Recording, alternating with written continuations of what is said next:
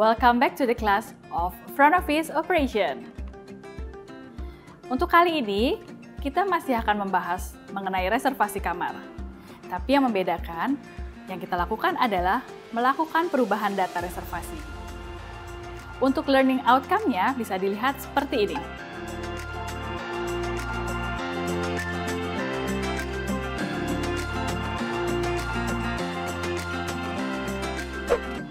Teman-teman, pernahkah teman-teman membuat reservasi kamar di hotel, lalu ingin merubah suatu datanya?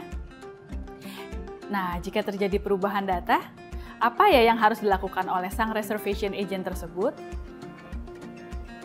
Di materi PowerPoint sudah dijelaskan bagaimana langkah-langkah perubahan data. Baiklah, akan kita bahas ya, bagaimana langkah-langkah perubahan data tersebut. Jika seorang reservation agent menerima telepon dari tamu dan tamu tersebut ingin melakukan perubahan reservasi, maka yang harus dilakukan oleh sang reservation agent adalah pertama, memastikan data reservasi tersebut benar adanya. Data mengenai nama dan tanggal kedatangan dipastikan benar. Setelah itu, reservation agent menanyakan, tamu tersebut ingin melakukan perubahan data apa? Kira-kira teman-teman apakah tahu data apa sih yang biasanya diubah oleh tamu?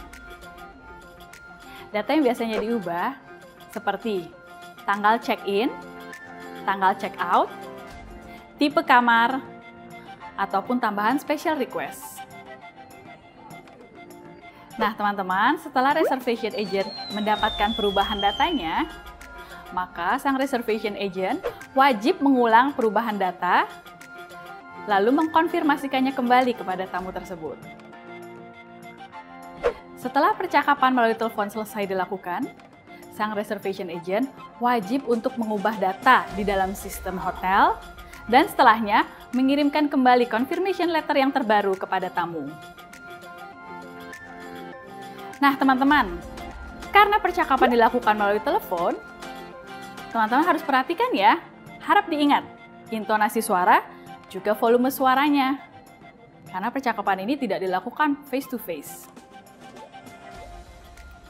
Baik, untuk latihan kali ini yang teman-teman lakukan adalah teman-teman sebagai reservation agent menerima telepon dari tamu untuk melakukan perubahan data.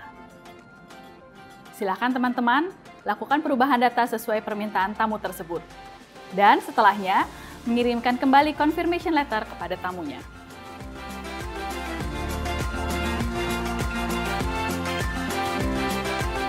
Baik, gimana teman-teman latihannya? Sudah mulai bisa? Ya, kita sudah sampai di akhir pembahasan topik ini. Terima kasih, and have a good day everyone.